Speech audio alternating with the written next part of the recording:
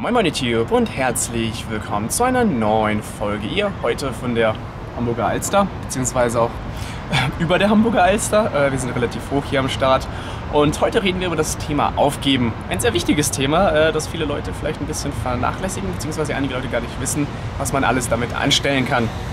Heute mit Sunglasses am Start, weil ich kann hier gar nichts sehen, weil ich habe eine weiße Hauswand vor mir und da kommt man dann so. Daher machen wir das heute mal mit Sunglasses. Und ja, reden wir mal über das Thema äh, oh Gott, ist das hier warm. 32 Grad, 33 Grad gerade. Äh, reden wir über das Thema. Äh, ja, warum ist eigentlich Aufgeben so wichtig? Äh, hat mehrere Gründe. Das erste ist halt, man sollte eigentlich keine Zeit verlieren, wenn man äh, sein Spiel spielt, weil wir spielen ja unter Timeout-Regelungen. Wir haben 40 Minuten für eine Runde und danach darf man halt noch seine letzte Phase zu Ende spielen und dann ist das Spiel vorbei. Das heißt, man muss sich seine 40 Minuten, die man das äh, Spiel normalerweise spielt, gut einteilen. Und da ist ja das Aufgeben ein wichtiger Teil. Ähm, Normalerweise will man ja halt nicht aufgeben, weil man möchte halt gewinnen, aber es gibt halt so einige Situationen, wo man sich vielleicht überlegen sollte, wie man genau aufgibt und da möchte ich das ein bisschen beleuchten. Ähm, viele Spieler glauben ja quasi, das gute alte Herz der Karten. Äh, man zieht noch das, quasi das Out, das man braucht, um den Gegner zu besiegen. Ähm, ist eigentlich meistens nicht der Fall. Das ist eigentlich nur der Fall dann, wenn man eine Sneak Peek spielt oder mit einem Deck, von dem man überhaupt keine Ahnung hat, kann sowas passieren. Normalerweise, wenn man sein eigenes Deck spielt, sollte man auch wissen, welche entsprechenden Outs man in seinem Deck spielt, dass man das gegnerische Deck, gegnerische Deck ausspielen kann. Deswegen sollte man normalerweise nicht darauf hoffen, dass man äh, sein Out zieht. Es sei denn, man hat wirklich ein Out. Aber wenn man keins hat, dann sollte man das Spiel nicht weiterspielen, weil damit verschwendet man einfach seine Zeit und spielt dann weiter die nächsten 10, 20 Minuten, um dann nachher trotzdem besiegt zu werden, weil man eigentlich gar, gar nicht den Gegner eigentlich hätte besiegen können, weil man gar nicht die richtigen Outs hatte. Dafür muss man natürlich ein bisschen wissen, was das gegnerische Deck macht, damit man weiß, äh, was kann das gegnerische Deck eigentlich machen so, was kann es aufbauen und was kann es ähm, halt hinlegen und äh, wie entsprechend kann man das halt bei sich dann countern, wenn man das halt nicht kann. Dann sollte man eigentlich auch direkt dann sagen, okay, wenn man sieht, man sieht ein Feld, ähm, gut, ich habe keine einzige Karte in meinem Deck oder auch keine einzige Kartenkombination, die ich jetzt momentan zusammenziehen könnte innerhalb des, dieses Zuges oder des nächsten Zuges, äh, dann sollte ich jetzt lieber das äh, Spiel auf, äh, aufgeben, weil damit habe ich dann mehr Zeit in der zweiten oder in der dritten Runde äh, erstmal für Siding zu investieren und auch entsprechend dann in der zweiten, Runde, zweiten und dritten Runde halt entsprechend auch zu agieren, dass ich äh, ihn dann halt auskontern kann. Das ist halt so normalerweise die Standardattitüde. Ähm, Natürlich gibt es viele Spieler auch, die, ähm, das kennt man vielleicht äh, manchmal von Locals, wo man das sieht, wo der Gegner halt einfach, einfach anfängt mit seiner Combo zu spielen, dass der Gegner einfach direkt zusammenpackt und schon direkt in Game 2 geht. Ähm, es gibt halt diese Schnellaufgeber, ähm, hat halt diese, hat halt diese quasi, sagen wir mal, die haben gewürfelt und äh, die haben halt so ein bisschen die Attitüde dann, okay, wenn sie wissen, der Gegner hat halt eine gute Hand, dann geben sie sofort auf damit die gleich Game 2 äh, direkt reinboarden können und direkt äh, loslegen können, um den Gegner dann äh, in den nächsten zwei Runden halt besser kontrollieren zu können, weil sie halt, halt entsprechend in Game 2 und Game 3 sich besser darauf vorbereiten können als Game 1 und, und sie halt oft schon aus der Anfangskombination quasi sehen können, dass sie ausgespielt werden.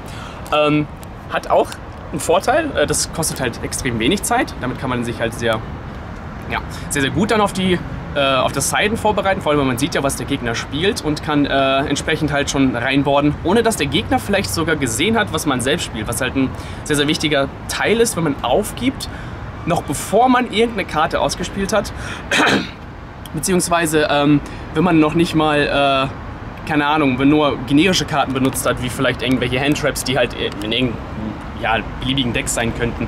Das sind halt so coole Sachen, weil dann der Gegner nicht weiß, wenn du dann aufgibst, was überhaupt reinboarden soll. Vor allem, er weiß auch nicht, ob du ein Go Second, Go First Deck bist. Er weiß einfach gar nichts und damit kann man halt den Gegner wirklich ein bisschen verwirren, so weiß er dann halt nicht, wie er sich darauf vorbereiten soll. Ha, noch ein kleines Addendum, mir ist noch was eingefallen dafür, wenn äh, die Leute zu schnell aufgeben. Äh, manchmal ist es gar nicht Not, tut es gar nicht Not, wenn man äh, direkt aufgibt, wenn der Gegner halt sein Powerplay beginnt. Weil manchmal hat der Gegner halt irgendwie auch einen Fehler in seinem Powerplay drin, spielt es falsch aus, weil er vielleicht zu wenig gegessen, zu wenig getrunken hat, zu wenig konzentriert ist oder gerade mit seinen Gedanken irgendwo anders ist und gar nicht das äh, komplett perfekt ausspielt. So hat man eigentlich quasi sein gutes Game weggeworfen, ihm quasi den Sieg gegeben, wenn man sofort aufgibt, obwohl man das hätte einfach locker ausspielen können, aber man hat niemals so lange genug gewartet, um einfach mal zu sehen, wie der Gegner das ausspielt. Das natürlich ein Deck ist, was irgendwie eine Viertelstunde braucht für seine Combo gut ist schon wirklich eine harte Choice, dann wirklich zu sagen, ich lasse ihn das durchspielen oder nicht. Aber wenn es ein guter Spieler ist, kann das auch ziemlich schnell machen. Und dann äh, ist auch wahrscheinlich das Feld umso solider. Aber das ist halt auch eine Sache, immer mal auf den Gegner vielleicht ein bisschen vertrauen, vielleicht einen selbstbewussten Blick rüberwerfen, ihn damit ein bisschen einschüchtern. Vielleicht macht er äh, da einen Fehler. Oder vielleicht ist er sogar ein Einsteiger und kennt noch gar nicht die Kombos. Und dann äh, kann man mit einem, ja, mit einem sicheren Blick den Gegner ganz gut ja, verunsichern.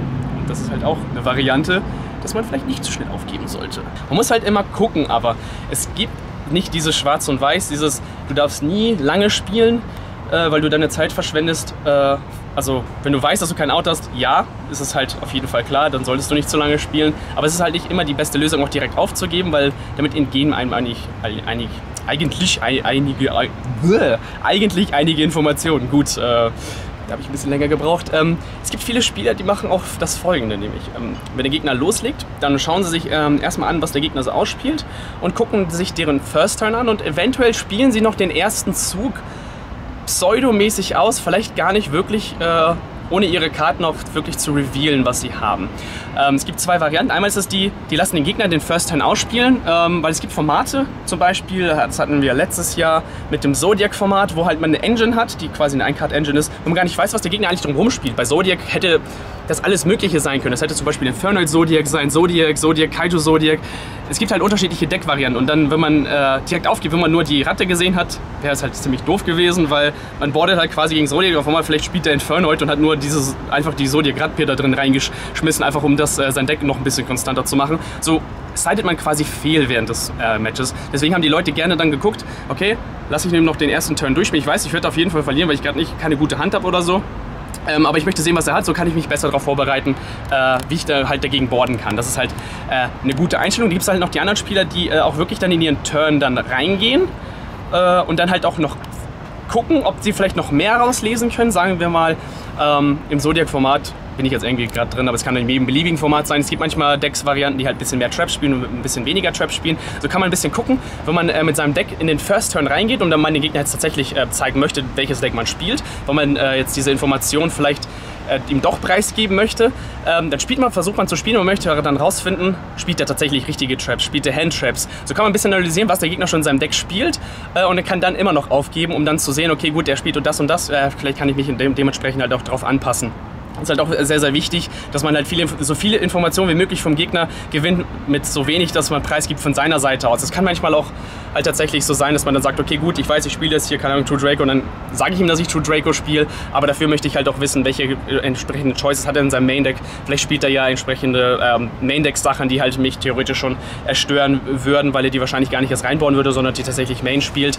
Ähm, ist halt auch so eine kleine Sache, die man abwägen muss und äh, wo man halt gucken muss, wie man damit interagiert. Und deswegen ist es halt sehr, sehr wichtig, dass man nicht zu früh, aber auch nicht zu spät aufgibt. Man muss für sich selbst wirklich seinen Rhythmus finden und auch selbst rausfinden, wann ist wirklich der richtige Zeitpunkt, wann ich das machen möchte.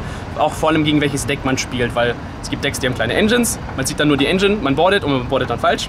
Oder man sieht halt wirklich das Ding, dann äh, selbst guckt man sofort und dann halt sieht der Gegner nicht, was man spielt, was halt ein großer Überraschung, äh, Überraschungseffekt ist äh, für den Gegner, weil er dann halt äh, blind quasi die zweite Runde spielt und dann halt meistens überwältigt wird in der zweiten Runde.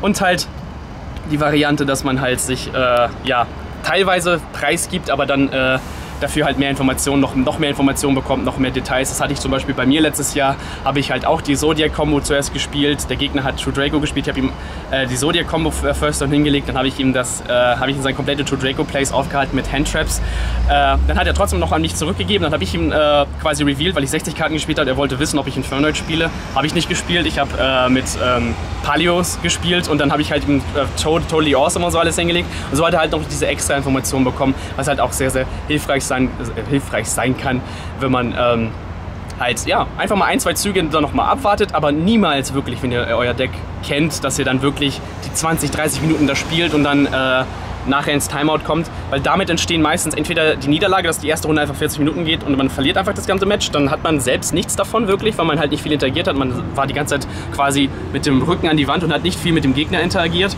oder das, davon kommen halt auch sehr gerne viele Unentschieden, weil man dann nachher dann halt meistens auch noch im Game 2 kommt und gerade noch das Unentschieden rausspielt oder das Game 3 einfach so kurz ist, dass man da nicht mehr viel machen kann und dann man automatisch Unentschieden spielt. Das ist halt natürlich auch etwas, was man nicht haben möchte normalerweise.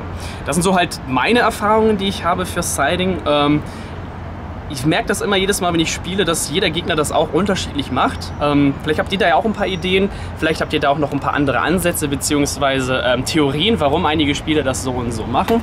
Ähm, ich kann euch halt hier nur von meiner Seite aus so meine Erfahrungen geben und wie ich das mache.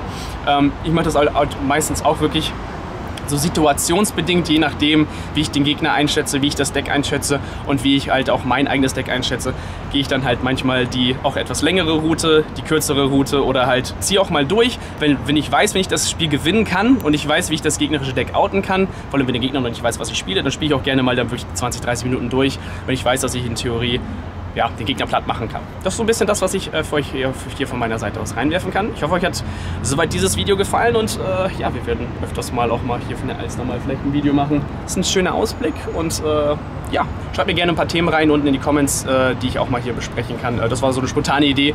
Ja, das Aufgeben eigentlich ein sehr, sehr wichtiger Part die Yugi ist und dass man die mal besprechen kann.